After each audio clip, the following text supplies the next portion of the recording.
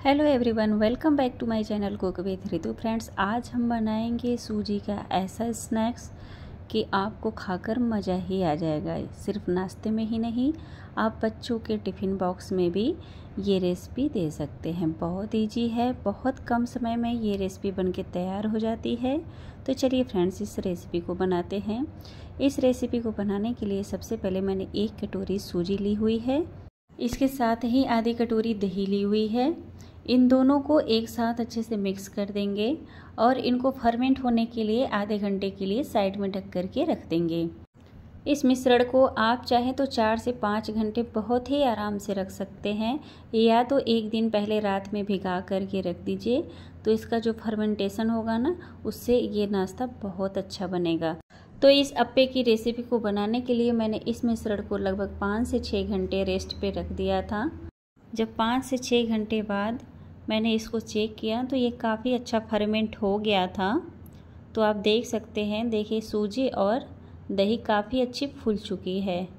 काफ़ी अच्छा फर्मेंट आ गया है इसमें। तो अभी हम इसमें कुछ सब्ज़ियाँ ऐड करेंगे, जैसे इसमें बारीक कटी हुई प्याज, बारीक कटी हुई शिमला मिर्च और बारीक कटी हुई गाजर। आप चाहें तो बीन्स भी ऐड कर सकते हैं, या फिर इसके साथ पनीर भी ऐड कर सकते हैं। तो ये इन तीनों सब्जियों को मैंने डाल दिया है और इसमें अच्छे से मिक्स कर देंगे। साथ ही साथ बारीक कटी हुई धनिया की पत्ती डालेंगे और ये हल्के हाथों से मिक्स कर लेंगे। तो हल्के ही हाथों से मिक्स करना है क्योंकि सूजी हमारी अच्छे से फर्मेंट हो चुकी है, आप देख सकते हैं। अब इसमें हम डालेंगे छोटे चम्मच से बेकिंग सोडा। ये बेकिंग सोडा है, इसमें थोड़ा सा पानी डालेंगे ताकि ये रिएक्शन करे वैसे सूजी हमारी काफ़ी अच्छी फूल चुकी है। अब इसमें कुछ मसाले ऐड करेंगे, जैसे कि थोड़ा सा चाट मसाला, ज़्यादा नहीं, थोड़ा ही डालेंगे। और थोड़ा सा काला नमक, फिर थोड़ा सा सफ़ेद नमक, टेस्ट के अकॉर्डिंग थोड़ा सा काली मिर्च का पाउडर और थोड़ा सा लाल मिर्च का पाउडर, थोड़ा सा भुना जीरा पाउडर और थोड़ा सा पाव भाजी मसाला हो या सांभर मसाला। इन सारे मसालों को भी अच्छे से मिक्स करके साइड में रख देंगे। देखिए कितना बढ़िया फर्मेंट हो चुका है सूजी और दही सारी सब्जियों के साथ। अब इनका हम अप्पे बनाना स्टार्ट करेंगे। तो साइड में मैंने पैन रख लिया है अप्पे का। ये प्री हीट के लिए मैंने पाँच मिनट पहले ही रख दिया था लो फ्लेम पे। अब इसमें थोड़ा सा घी ऐड करेंगे। आप चाहें तो घी की जगह पे कुकिंग ऑयल भी डाल सकते हैं और सारे मिश्रण को इसमें डाल करके ढक देंगे। फिर पाँच मिनट बाद हम चेक करेंगे, देखिए सारे अप्पे धीरे धीरे फूल रहे हैं। बहुत अच्छा फर्मेंट हो चुका था। जब सूजी और दही अच्छे से फर्मेंट हो जाएँगे ना तो बहुत ही करारे करारे अप्पे बनेंगे और काफ़ी फूले फूले बनेंगे। तो देखिए साइड से कितने बढ़िया फूल रहे हैं। तो इस अप्पे को बनाने के लिए ना, सूजी और दही का फर्मेंट होना बहुत ज़रूरी है। देखिए अब पाँच मिनट बाद ढक्कन हटाकर चेक किए हैं तो सारे अप्पे पक चुके हैं। अब इनको हम पलट लेंगे।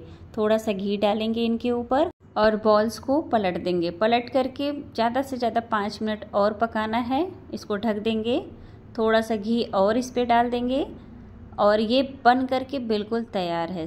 इस अप्पे की रेसिपी को सिर्फ़ 10 मिनट में आप बना सकते हैं। बहुत ही कम टाइम लगता है इसको बनाने में और फटाफट बन के तैयार हो जाता है। और ये अप्पे की रेसिपी काफ़ी हेल्दी है और फटाफट बन जाने वाली रेसिपी है। तो इस रेसिपी को बच्चों के लंच बॉक्स में बड़े ही आराम से आप दे सकते हैं। तो सारे बॉल्स को हम निकाल देंगे। देखिए, सारे अप्पे करारे करारे हो चुके हैं। बिल्कुल नहीं चिपके हैं, बहुत अच्छे से हो चुके हैं। सिर्फ़ सिर्फ़ इसका जो फर्मेंट वाला काम है ना, उसको अच्छे से करना है। दही और सूजी जब अच्छे से फूल जाएँगे ना तो सारे अप्पे बहुत ही अच्छे निकलेंगे। अब चलिए साइड में हम चटनी बनाने की तैयारी करेंगे। जब नारियल ना हो ताज़ी वाली तो घर में कैसे चटनी बनाते हैं तो चलिए ये भी देख लेते हैं। तो नारियल का बुरादा लिया हुआ है मैंने। आपके पास यदि ताज़ा नारियल है तो उसको भी ले सकते हैं। साथ ही साथ थोड़ी सी दही ऐड की हुई है। चार से पाँच हरी मिर्च और थोड़ा सा धनिया का पत्ता।